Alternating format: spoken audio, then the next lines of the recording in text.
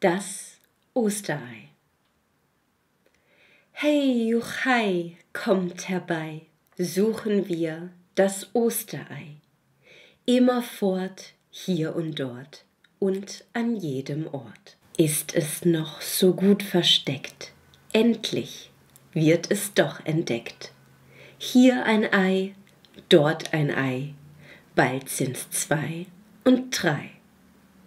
Wer nicht blind, der gewinnt einen schönen Fund geschwind. Eier blau, rot und grau kommen bald zur Schau.